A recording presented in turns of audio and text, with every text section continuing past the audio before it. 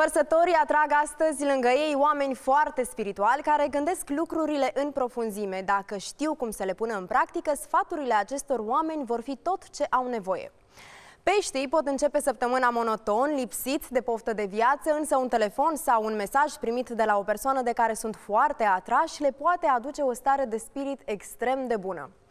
Berbecii împart astăzi bună dispoziție și voie bună oriunde ajung. Încep săptămâna foarte bine, iar asta îi va ajuta atât pe ei cât și pe cei din jur. O zi plină de trăiri intense pentru Nativitaur, o persoană le mărturisește că are sentimente profunde pentru ei și pot începe astfel o frumoasă poveste de dragoste. Dragi gemeni, tindeți să fiți răutăcioși cu persoana iubită și să exagerați cu reproșurile. Îi puneți pe umeri partenerului lucruri pe care nu le-a făcut numai ca să iscați un scandal. Momente de cumpănă în relația racilor, acești nativi pot fi tentați de o persoană de sex opus foarte atrăgătoare și greu se vor abține să calce strâmb. Atitudinea distantă a persoanei iubite îi poate pune pe gânduri pe lei care să pune la îndoială loialitatea acesteia. Au impresia că partenerul le ascunde ceva.